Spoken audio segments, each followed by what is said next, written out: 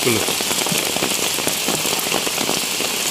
Saat ini material vulkanik sisa longsoran yang masih tersangkut di atas turun turun dikarenakan hujan cukup deras. Jadi saat ini semua kendaraan dilarang melintas karena cukup membahayakan. Nah, tuh. itu tuh tuh nah, itu bisa di nah, ini cukup membahayakan.